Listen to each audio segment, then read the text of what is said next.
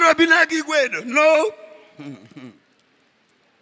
ibe nwadezikwa ka nọ n'iru ndị ichie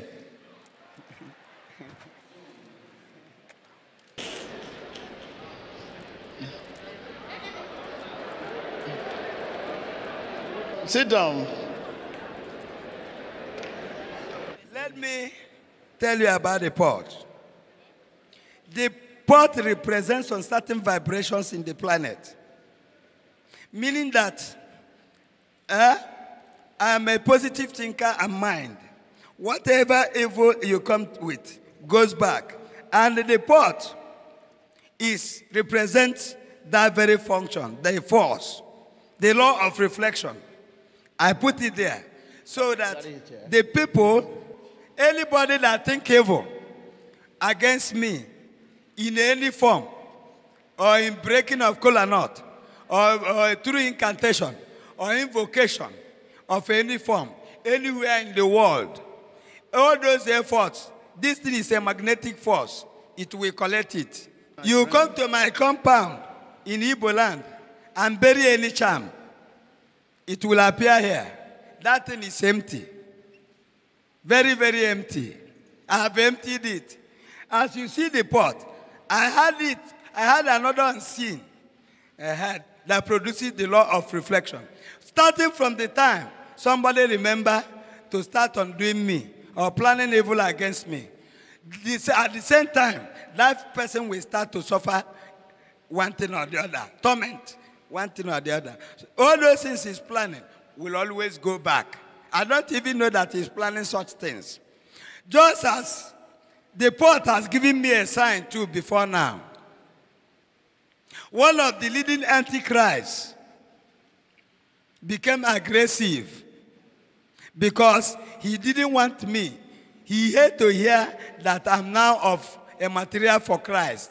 Everybody thought that all of us could have remained in faith with Lucifer and die just like that, waiting until the next incarnation. So thank you. Thank you. Congratulations. Yes.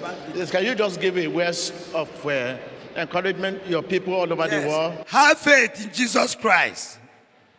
Jesus Christ can never disappoint you. Yes, stand up, stand up and say this. Have faith.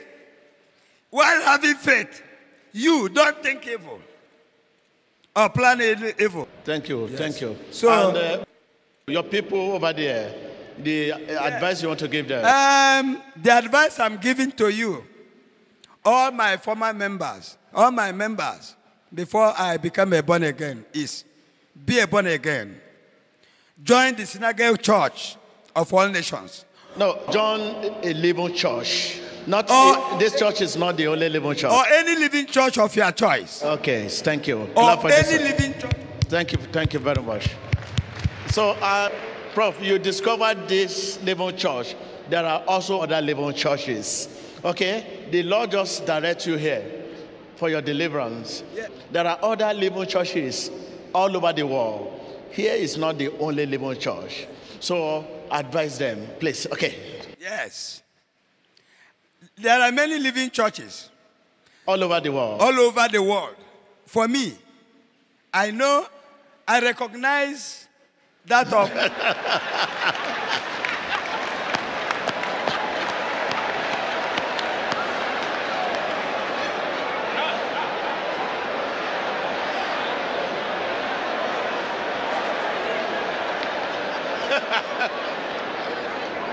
if you are a true born again, back me up with your nice voice.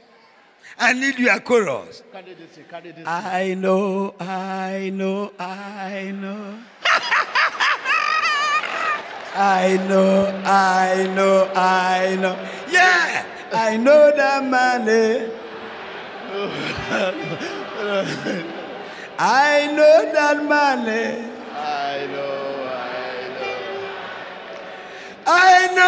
Know that money. That man TB Joshua. I know that money. That man TB Joshua.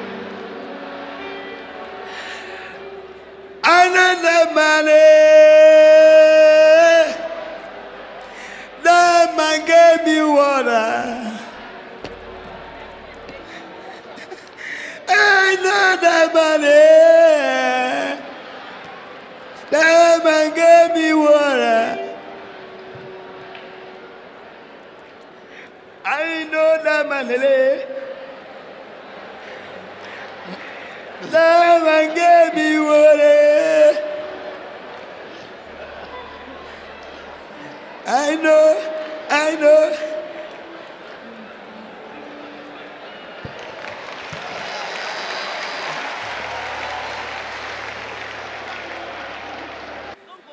Thank you, Lord Jesus Christ, for my deliverance. And I'm praying for more power to worship thee in spirit and truth. I'm praying for more ability to know thee, Lord. Because I discovered that there is nothing called enjoyment in this world. Is it beer? Is it alcohol? Is it Indian hemp? Is it cigarette? Is it cocaine? Is it clubbing the night? Is it what? Show me that life under the sun. That is too much to be admired. Yeah, the rich are tired with all this. The poor that has no money, when you see them at the roadside bar, they are happy with four bottles of beer. What about a man that cannot be happy with one carton of more than $25,000 worth of wine, then a million dollar worth of hard rock in a week? He cannot be happy. I discovered nothing can give you happiness in this world. Peace, peace. In my former kingdom, I made them to believe that they are all peaceful, that they have peace, while they are they are in, in a burning flame, flame of fire. When you see the face of my former members, you discover they have no peace. One, a peaceful mind has no time for criticism, tribalism,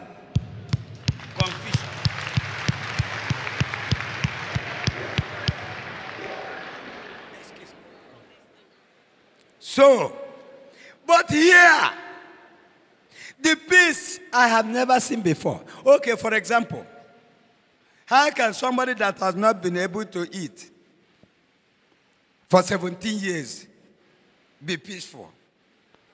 When I came here first, the first day I came here, everywhere there was like a burning, like a fire. Because I was angry. I'm not happy. I was flaming up. Because one is that no food in the stomach.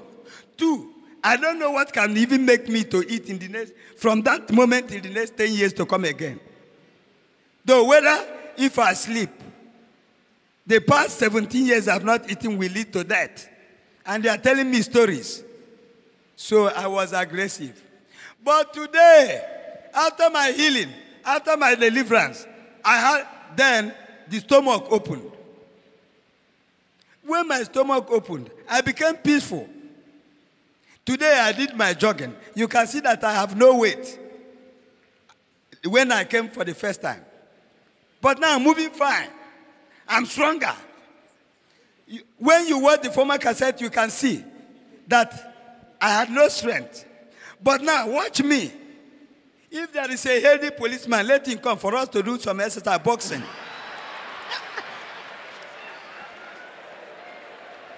so, I am coming. So now, I did my exercise this morning. I jogged as a healthy man. So now, I'm thanking my Lord Jesus Christ for total deliverance and healing. For my total deliverance and healing. I thank my Lord Jesus Christ for my total deliverance and healing.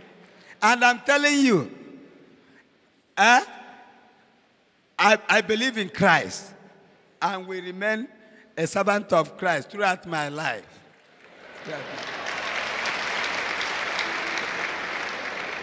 Hallelujah. You have listened to the ex general in the other world.